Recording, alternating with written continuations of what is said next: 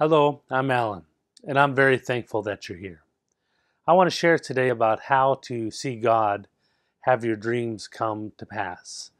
And it's a it's a pathway that I struggle with through the years is how do I allow God to work in my life and how do I work with God in seeing the things that he told me come to pass. And many times we struggle because the direction God leads us is opposite than the direction of our dreams. And it's very important that we understand who's in charge of making your dreams come to pass. And especially as we've been learning about transformation, uh, the more I've learned about transformation through the years, I've realized that I was born again and how powerful that was. That when I accepted Jesus, I became a new creation. Old things passed away.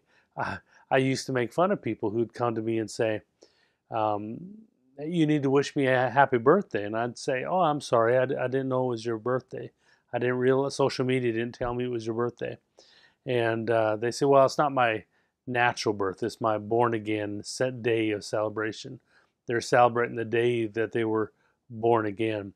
And I would kind of just pat them on the head and say, oh, that's so cute. Happy birthday. And just kind of snickered a little bit like that's kind of a little too spiritual to me. But, but I'm learning, and as I've learned that how wrong I was and how correct they were, that I have been born again. And the day I was born again was really the day that I was created by God. And so you have two births. The first birth was of your natural natural man, it was of the will of God. A baby comes into existence at the create at the conception and at that moment a creature is is created that's going to live for eternity. Christy and i have two creatures that we created harrison and ava and they're going to exist for eternity. And praise god they're born again and they've accepted jesus in their heart and so we'll spend eternity together. And uh, once a, a person is created they don't stop existing. They either end up with god or in in the lake of fire so get born again if you're not born again. I'm going to read out of first or out of John chapter 1, the book of John chapter 1, and we'll just start here. It says here, uh, John writes, I'll start in verse 11. He came to his own, talking about Jesus, and his own did not receive him. And as many as received him, to them he gave the right to become the children of God to those who believe in his name, who are born not of blood, nor the will of flesh, nor the will of man, but of God. So I want us just to confirm that your first birth was of the will of man, a natural birth. Uh, you were a natural creature of the human race. And uh, when you were born again, you became a new creation. And you, you left behind all that you were in the first birth. And so I'm bringing this up because many people have this idea, Christians have this idea, and I struggled with it for years as the Holy Ghost began to navigate me out of that philosophy. The idea that God's purpose in my life is to make my dreams and my purposes come to pass. But when we realize that your first birth wasn't of His will, that He didn't decide to place you into your family, He didn't decide what time, uh, what generation, what country you were born of. He found you in the human race. Your second birth was of His will. That's when He created you. So, in your first birth, in your family, you had dreams and, and understanding and purposes that came from your natural birth, your first birth. That God had nothing to do. So many of us, whenever we found Christ, had already felt a direction in life, a, a purpose in life that was all of our natural man. But God wants to have the right to, to share His dreams with you, His purpose with you, and not just come alongside of who you were made the first time. He wants to come alongside of who He made you. And so, in that understanding of transformation, you can have two sets of dreams one of the natural man and one of the spiritual man, one that God has for you. And it's very important to know that God will not come and and encourage the dreams that He did not give you, and to be able to know what is Him and what is of the natural man. And this causes a lot of, of struggle for many Christians because they find themselves pursuing something that God doesn't want them to have or hasn't uh, said it's okay to have it yet. I can't tell you how many preachers came to me in my youth, especially trying to tell me how to see God work in my dreams. That God wants your dreams to come to pass. What you're calling, what are you supposed to do? Well, go do it. Go make it happen. Go and do. The Bible says to go and do, to go out into all the world and preach the gospel. So, what's on your heart? What country do you feel? What's your mission? Go and make it happen, and God will help you. And so, I want to just start with the understanding that you can actually have two sets of dreams. One is a dream of your natural man, which God will want you to mortify because it wasn't from Him. And one is the dreams that He gave you and the calling that He gave you and the purpose that He gave you at your second birth, at your born again experience. And many Christians will, will never see God make their dreams come to pass. They'll always be pursuing their dreams, trying to chase after it. And I'll share some stories today about how I struggled with that when God's direction was opposite of where the dreams that He gave me came from. So let's start over in Habakkuk. We're going to the Old Testament. Habakkuk, we'll go here first. And I'm going to read uh, chapter 1, verse 5. And here the Lord says this Look among the nations and watch. Be utterly astounded, for I'll work a work in your days which you would not believe, though it were told you. So there's a part of God in his calling where He wants to do the work. He wants you to watch Him do the work. He wants to do things through you, and not so much you doing things for God. And this is a philosophy that transformation has brought into my life, understanding that God wants to work through me. Whereas before, my philosophy was, I'm going to work for God. I'm going to do things in the name of God. Let me think of all the good things I can do all the people I can help, all the money I can give, all the time I can give in the name of God and help Him with His kingdom. In transformation, you understand that you're a new creation and that your life belongs to Him. And He wants to take you step by step into His purpose, into His plans. Where I see much of the church world under the philosophy of trying to fulfill a purpose in you, and that purpose usually is from the natural man and God didn't give you the okay to do it. I'm going to go over to Ephesians now, a New Testament example, and we're going to go to Ephesians chapter 3. Ephesians chapter 3 in verse 20. Now to him who is able to do exceedingly abundantly above all that we ask or think, according to the power that works in us. So here we see that the pattern that God wants for us is for Him to do things for us and through us. Not so much us doing things for Him, for His kingdom. And it's important because to, to have God work through you means that you have to let go of the right and the power of your dreams. You have to let go of the power to make your dreams come to pass. You can't let your dreams guide you and lead you.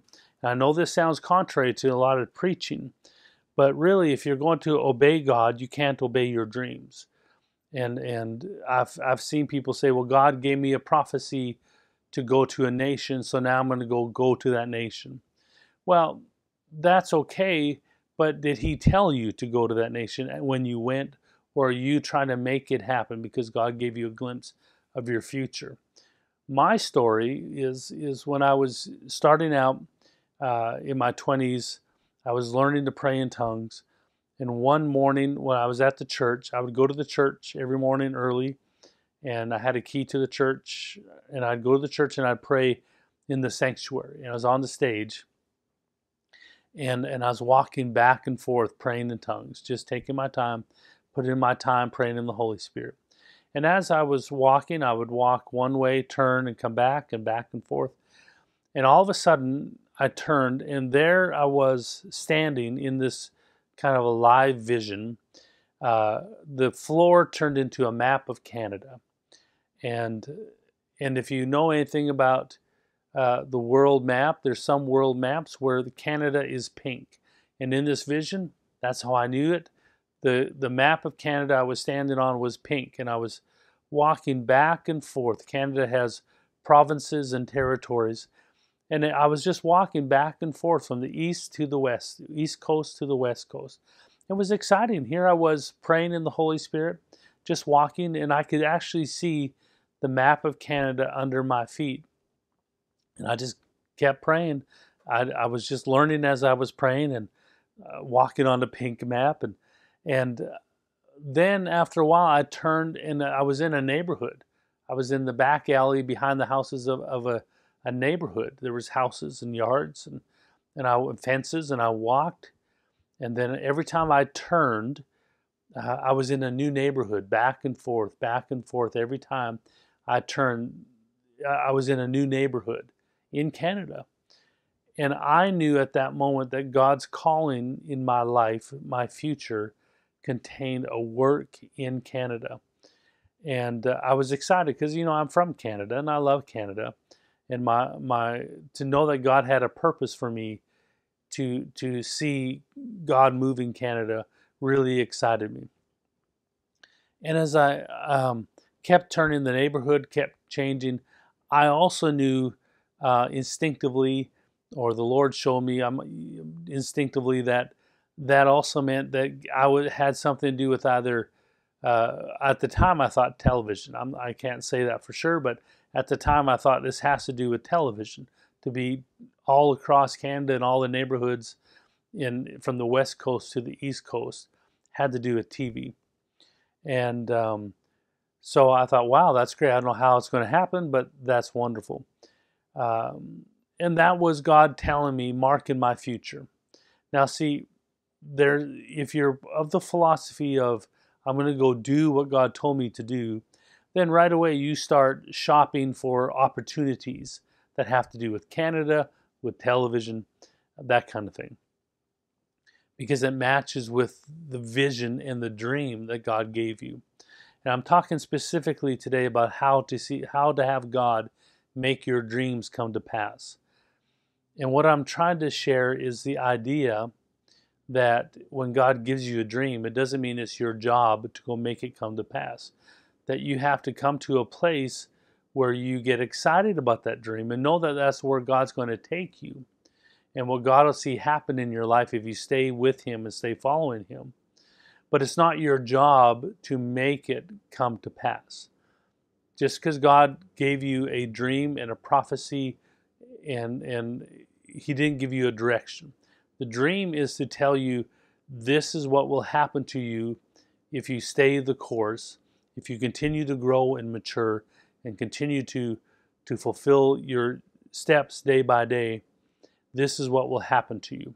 I see many Christians, so many, uh, chase after their dream, and even the dream that God gave them, declaring, God told me this is what I'm supposed to do, therefore I'm supposed to go do it. And they start to shop around for opportunities and, uh, and start to navigate towards that. And I've seen so many of them fail and struggle their whole life, never seeing it come to pass because they have taken the dream that God gave them and, and owned it and uh, assumed it was an assignment for them to do that. And I see that so much in churches today to go win souls, to go feed the poor. These are all great things that are important to do. But we are to be led of God, which means that there are some poor people that God may not want you to feed. There are some people that may God may not want you just to share uh, Jesus with. Maybe they're they're a family member of a preacher who's backslidden, and they they they've heard Jesus their whole life, and the last thing they need to hear for God to rescue them is some someone telling them about Jesus. Just because you see uh, where God wants us to go doesn't mean we're supposed to just go there and make it happen And because of that philosophy of go and do, um, uh, one of my one preacher I heard I loved it actually was, you know, God's uh, the first two letters of God is G O, and the last two are O D. If you turn that around, that spells go and do. That we're to go and do the gospel. We're to go out and win the nations, and so we we negotiate together. And what's happened is we begin to, in our own natural ability, rally together and try to do something good for the kingdom of God. I'm not saying God's against that, but I am saying that's not God's best. God's best is for you, you as an individual, to take the time to grow and mature in Him and to listen to His instructions and allow Him to work through you to do the things that He has asked you to do. And not so much to go do things for Him. And it sounds similar, but they're completely opposite. And when, when I learned about this was when I had the dream of Canada, the vision. I saw it. I knew that had to do with my calling. I was excited. And and I began to think about places in Canada that were where he might want me to go and have a church. And wouldn't you know that an opportunity, a wonderful, amazing, incredible opportunity rose up where I was asked to to possibly pastor a church uh, by man by a couple that I really admire and love and respected. And I had such love and respect for them that I wanted to please them. I wanted to prove to them that I was faithful to God and make them proud. And they had they had offered an opportunity, and I had other many opportunities to go to Canada to pastor, to to minister, uh, and this one opportunity was to come and pastor and to be on television across Canada every weekend for free. That was amazing. And it was everything that God told me I was going to do. It was amazing. It was exactly a perfect fit. But the puzzle came when I was sitting with this one couple. And again, I love them. I still love them and honor them and appreciate them. But in my heart, in my spirit, I had no approval of God. Uh, nothing in me would let me take that step. And it was exactly what God told me to do. And so you can understand how I was puzzled like, wait a minute, this is God, didn't you open this door? Didn't you make this happen? Uh, isn't this what you have for me? Shouldn't I take the step? But yet inside of me, I had, in my spirit, I had a no. This is not the way I want to make this happen. And I had to decide pretty quick uh, do I step forward into this opportunity or do I have to decline it and disappoint this couple who gave me this beautiful opportunity? And I had to decline it. And it wasn't that I was doing anything fantastic and had better opportunities. I was I was in a place of my life at the moment where I was serving and not doing a lot of preaching and it wasn't glamorous. And this opportunity was amazing. And I had to say no because I was being led by the Spirit, led by the Holy Ghost. And again, I want to say thank God for praying in tongues. Do you know when you pray in tongues, you pray out the perfect will of God? And that means that when you come to a decision, if you've prayed out the will of God, you'll be it'll be easier for you to know what God's will is, even if it doesn't make sense. And if I were to be a pursuer of dreams that God gave me, I would have jumped on that opportunity. But God had a different pathway to that dream than, than the opportunity that was in front of me. It's important because this is how you're led by the Spirit, not by chasing or fulfilling or making even your prophecies come to pass, the visions that God has for you, when you know it's God, it's still not your job to make it come to pass. Your job is to grow in Him, mature in Him, and then listen and obey. That's why I always say we don't make decisions by opportunity or out of frustration. Uh, many Christians will be frustrated because they don't see God using them the way they think they should be where they're at. So they, they get frustrated, so they go find somebody who will put them to work or not, they'll open the door. And other ones, they'll pray, Lord, open a door that no man can shut. And if a door opens up and it's it's positive, it's forward towards what they want, it's blessing. Uh, they say, God opened this door, praise God, I'm going to walk through it. But the devil can open doors for you, and the man can open doors for you. Uh, the world can open doors for you, and it may not be God. And sometimes the doors that God opens for you is in the opposite direction of, of the very dream that He gave you. That's why it's so important that we pursue Him and not our dreams. The very dreams that He gave you. I used to preach when I was a youth pastor, especially to the young ladies. When I would preach, I'd say, Girls, always remember that the devil will send an Ishmael before he send an Isaac and I was referring to Abraham uh, and Sarah. They had, you know, created an Ishmael, uh, and instead of an Isaac. And before your Isaac comes, girls, the devil will send you an Ishmael to try to get you to grab onto him and ruin your life or make your life hard. But I've learned since then, you know, thank God I don't preach the same as I did when I was 19. But I've learned since then that the devil didn't create Ishmael. That Ishmael was created. Let, let's go there. Let's go to Galatians. I'll just read a verse or two out of Galatians for you. Galatians uh, cha- chapter 4, verse 21.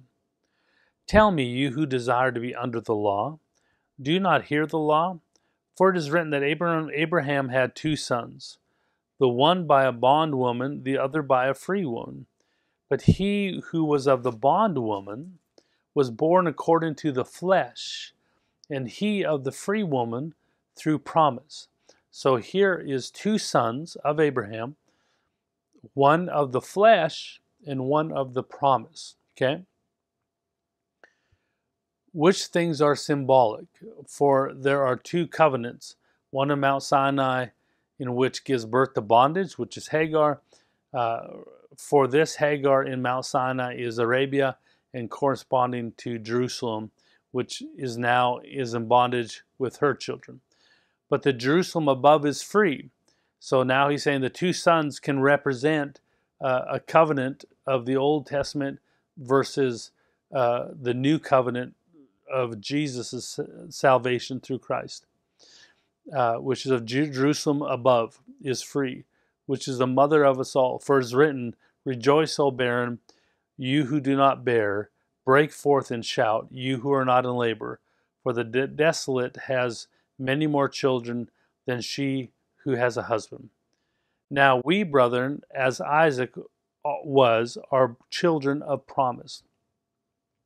So he's comparing now the the Jewish people who are not saved, that they're under bondage. They are uh, they're of the old covenant compared to those who are born again, uh, are children of promise. But look at verse 29 here. But he who is born according to the flesh, then persecuted uh, him who was born according to the Spirit, even so it is now. Nevertheless, what does the scripture say? Cast out the bondwoman and her son, for the son of the bondwoman shall not be heir with the son of the free woman. So then, brethren, we are not children of the bondwoman, but of the free. So here in context, he's talking about salvation through Christ versus trying to serve God through the law. But he says the word said, the Lord said, cast out the bondwoman and her son. So, what was created through the flesh, God did not accept. And I see many people creating things in the name of God through their flesh, trying to serve God, but it's through the flesh. And it's very important, this line, because I don't want you to get to heaven and say, God, here's all my great works that I did for you. And God say, Well, thank you for doing those, but those are through the flesh. I didn't ask them you to do that Uh, I didn't do that through you. You did that. And all those works burn into dust. You don't get the reward that God really has planned for you. Abraham had a dream that God gave him. His actual name was Abram. And God told him, You will be the father of many nations. And to help him to have that dream, he actually changed his name to Abraham, father of many nations. And and that way every time someone called his name Abraham, it reminded him of the dream that God gave him. The dream that God gave Abraham was that he was going to birth a son. And, and because of that birthing of the son, he'd be the father of many nations.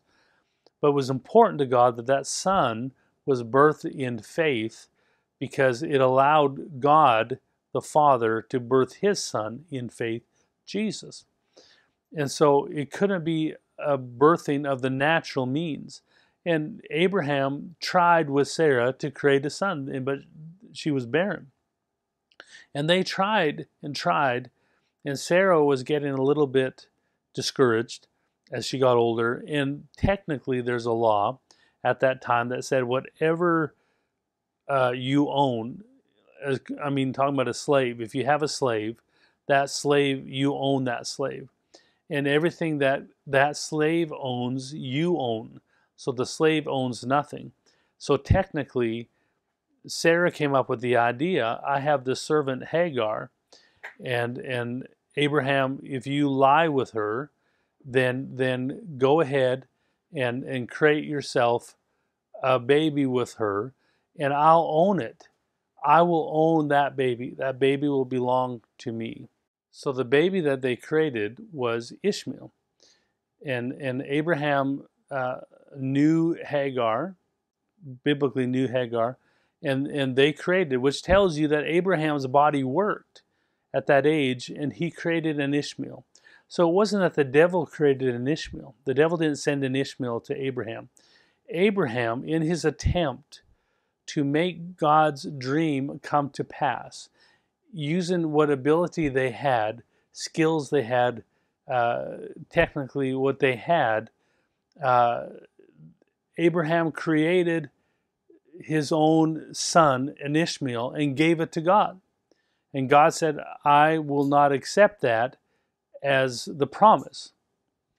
And so God rejected Ishmael, even though they tried to make it happen in the name of God.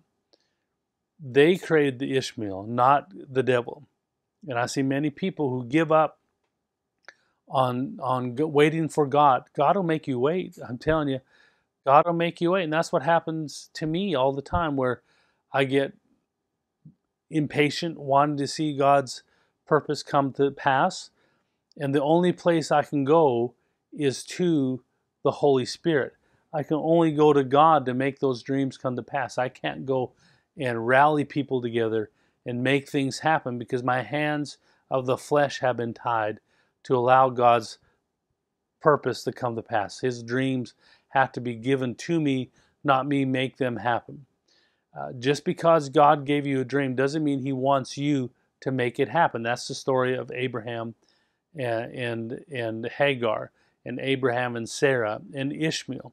Was don't make your dream happen in the flesh, because God will reject it. It's not of God. God wants us to allow Him by faith to make our dreams come to pass.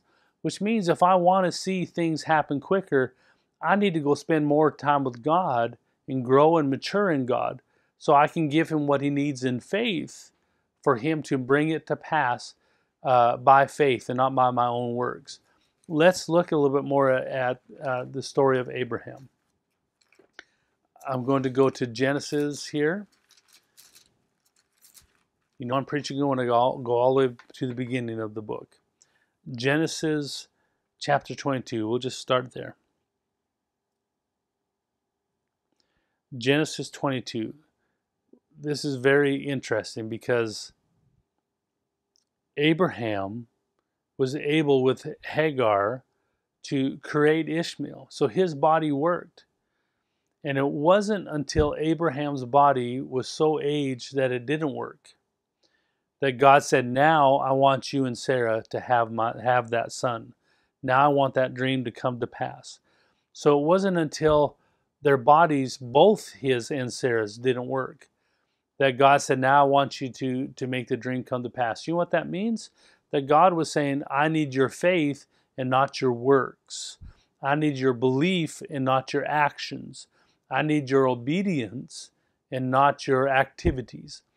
And and and I'm telling you, this transformation message is causing me to conflict with much of my early beginnings of training how to uh, serve God because it's forcing me to accept that anything that God does in my life, in, in the sense of my calling, I want Him to bring it to pass. And I have to wait on Him to bring it to pass. And what do I do when I wait?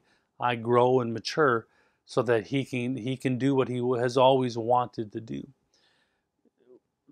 When, he, when they created uh, Isaac, it was by faith, it was the impossible an impossible miracle happened. Both of their bodies were so old and, and no longer can naturally produce a child. That's when God said, Now I want you to produce a child for me. And they did. By faith, they created for themselves uh, uh, uh, Isaac through faith in God, a miracle son, a miracle child to whom the promise would come to pass that I'll make you the father of many nations. And then we read here in chapter 22, and, and this is so important, so important for us to understand this, because it'll help you to know what to do when God's direction from His Spirit, when God leads you in an opposite way from your dreams. Many, many, I'd say multiple times in my walk with God, opportunities would rise to go into my dreams, and my calling, but God's direction would lead me in an opposite way. And and I'd have to choose, do I chase the dream or do I follow the leading of the Spirit? And here is a story of Abraham which is very similar. They've already been through the whole uh, whoops, we made an Ishmael and and then believe God until they made an Isaac. Now they have Isaac, their son, in their hands. They're they're allowing him to grow up. They're they have their son.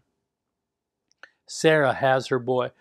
Uh, Abraham has the boy, the promise of God that you will be the father of many nations. And then God says this, chapter 1 or chapter 22 verse 1. Now it came to pass after these things that God tested Abraham and said to him, Abram, Abraham, and he said, "Here I, here I am." He said, "Now take now your son, your only son Isaac, whom you love, and go to the land of Moriah, and offer him there as a burnt offering on one of the mountains of which I shall tell you." And Abram, Abraham rose early in the morning and saddled his donkey, and took two of his young men with him, and Isaac his son, and he split the wood and burnt offering and arose and went to the place which the Lord God had told him. Then on the third day, Abraham lifted his eyes and saw the place afar off. And Abraham said to his young man, Stay here with the donkey. The lad and I will go yonder and worship, and we will come back to you. Now he says the lad, that means a young man. It's very important that we understand that that Isaac wasn't a baby. He wasn't a two year old. Uh, some say he was 18 years old, at least 18 years old. Some say even up to age 37. We're not positive, but he was at least 18. I, my guess would be he'd be 33 because this is the story that allowed Jesus to come.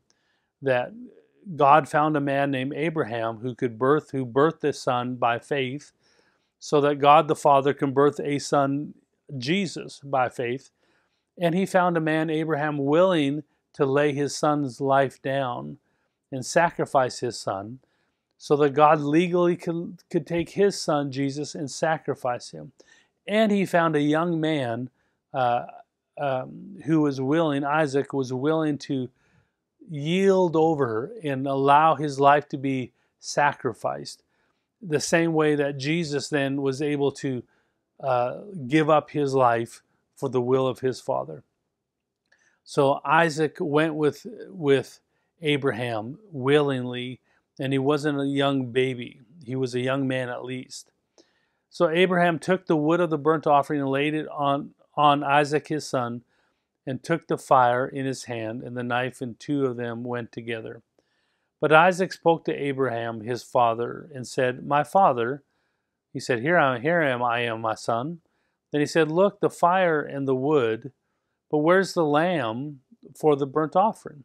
And Abraham said, My son, God will provide for himself the lamb for the burnt offering.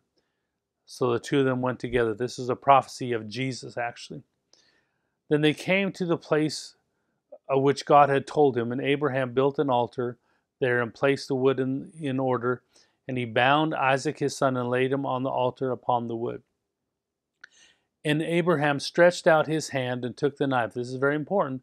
Abraham took out his hand and took the knife and to slay his son. So Abraham lifted up the knife and was getting ready to bring it down and to to slay his son.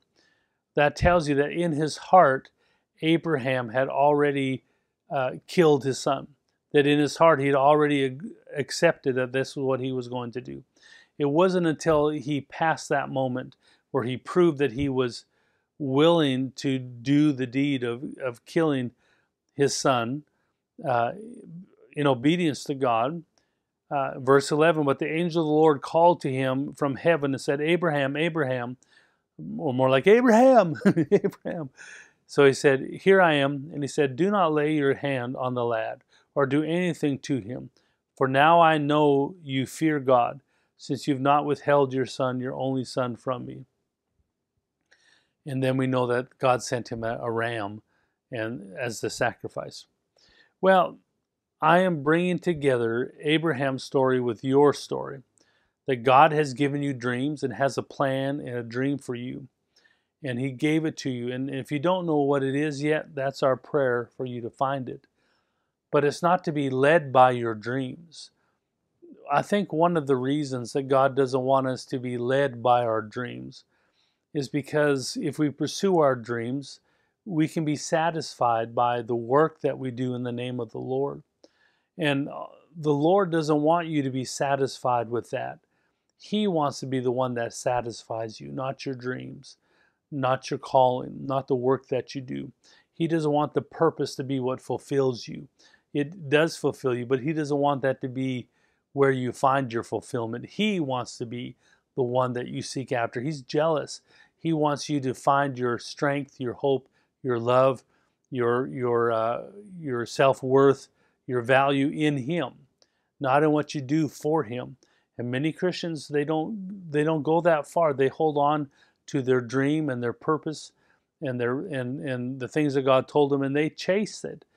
And and what did God do with Abraham? Right when Abraham uh, had the dream of a son come to pass and had it in his hand, the dream that God gave him and helped make it come to pass. What did God do? I want you to kill it. I want you to kill the dream that I gave you. But God, you gave me this son. You gave me this child. It was by faith. We went through all that already. Why would you want me to kill it? Well, that's going to happen to you. It's happened to me that the very dream that God has given to me the very plan of God that He's given to me, He asked me to kill it, that I don't pursue it. I acknowledge it, that's where I'm going to go. I know that one day, uh, somehow, that God will see me if I continue to grow in Him and mature with Him. It's not automatic, you have to follow Him. But by faith, I know one day that God will uh, take me to a place where I will go across Canada from the east coast to the west coast, back and forth into all the neighborhoods in Canada. And uh, there's a ministry there that will happen one day. It's not my job to make it happen. It's my job to follow God every day and trust that when He sees it, the timing is right, when He knows that I'm mature enough and grown enough, that that's when He will bring my dream that He gave me to pass. And He will do it for me, not me do it for Him. God will ask you to take your dream, the very dream He gave you, and He's going to ask you to kill it. Take a knife, and I want you to just stab it right in the heart. I want you to kill it because I don't want your dream fulfilling you. I don't want you making you, my dream come to pass for me. God's dream for you is where you're going to go. I see many people get a prophecy about where they're supposed to go and they chase it. They won't do anything else. I, I can't tell you how many people they get so focused on their, you know, uh, hey, we need we need you to go this way. No, I only do what I'm called to do. And and I only I only I'm a prophet. I don't I don't do helps. I don't clean toilets. I don't sweep floors. I only prophesy. That's all I'm going to do because God called me to be a prophet. Unless God told you that, you should be a servant who prophesies, not a prophet who doesn't serve. Anyways, laying down of your dreams, letting go of your dreams, letting go of chasing your dreams, following your dreams. God's role in your life isn't to make your dreams come to pass. Number one, some of the dreams you have may be from your first birth, the person you were born before you were saved. And God may not want have have any of that for you because He rebirthed you and you were born and created of God. The dreams from you from your rebirth may be opposite. It's amazing. They may be opposite of your first birth. So don't just expect that the way that I think I am is who God made me. You want to grow up in God. That's the transformation message. That you've been born of God, grow that man up, grow that person up in God and let God walk that person while you mortify the desires and deeds of the outward man. So, number one, the dreams that may be in your life from your childhood may not have anything to do with what God's called you to do. As I say, just because you're six foot nine doesn't mean you're called to play basketball. But there are dreams and purposes that God has for you, His child. And then when He gives them to you, He's going to ask you to not chase them, but to chase Him because He wants to bring them to you. And so many believers never experience the amazing miracle that can happen on a daily basis where God begins to uh, bring things to pass for you, His plan, His purpose through you and for you, and not you make them happen. So many believers are so busy making the kingdom of God happen they never experience this walk where God makes things happen through them. And let me just tell you, God can do more through you in a moment than you can do through a lifetime of trying to make things happen.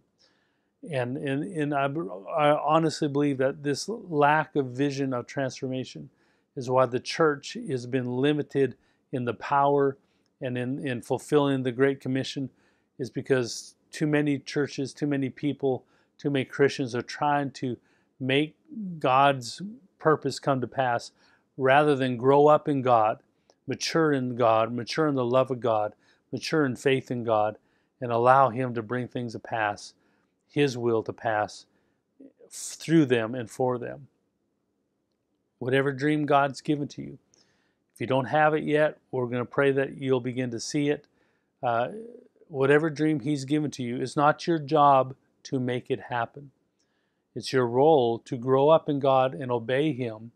And when He leads you in a direction that's different than your dreams, when He pulls you away from opportunities into things that don't seem to make any sense, you have to trust Him and obey Him because it's His dream, not yours. He's given it to you as a uh, assignment and as a, a sign that if you follow Him, it will come to pass. But you got to follow him. You got to keep praying, keep seeking him, and obey his voice. Let's chase God and not our dreams. I'm going to pray for you. Uh, let's pray together. Father, in Jesus' name, I thank you that our life is in your hands, our steps are guided of you, that our future is in your hands. Uh, everything we have in this life is yours. Our, our steps, our days, our hours, all of it belongs to you. that we let go of the reins of our life, the control of our life, and we give you the reins and the control of our life. And our, our role is to obey you, to listen and obey. So, Father, for those of us who, who struggle because we don't see where we're going, we don't see the future, we don't see the possibilities, my prayer is that you open up uh, their dreams, you open up their eyes to see the wonderful, wonderful things you have in front of them. That there's no lesser child in your family, that all of us are important, all of us are a very important part of your family. And every calling is equally as important. So, Father, that you open up their spiritual eyes to see the future you have for them as they obey you, that they'll see the wonderful, incredible things that you plan to work through their faith and their obedience. And then, Father, I also pray for those of us who are chasing after you and following you, that you give us your grace and strength to let go of opportunities, let go of our dreams, the very dreams that it's not our job to make it come to pass, to trust you and to walk with you. That you put your grace on us and your strength on us in those moments uh, where it just seems like what a great opportunity I have to let go of to obey God. But Father, you lead our steps. Your grace is our strength. And the things that you plan to do through each of us is amazing. Help us to dream big in you. Help us to believe big in you. To know that that we are part of an end time revival, that we are part of a great work, a great body of Christ that has many, many great things to do, that you will do through us, not us do it for you. So help us, Father, every day to chase after you. We give you our dreams, we give you our purpose, we give you our life. Our, our life is in your hands, that we'll do whatever you ask when you ask it. In Jesus' name, your grace now is on us. Amen. It can be a hard moment, especially when you start to lay your dreams down. Once you live in this life, it's hard to pursue anything but God's will but it's a life of victory, a life of miracles. It's a life of incredible moments where God does things for you that you don't deserve, and, and you're shocked at how He does it. What God will do through you and for you is what you want. Let's chase God and not our dreams. I love you. Thank you for spending time with me. I'll see you again soon. God bless you.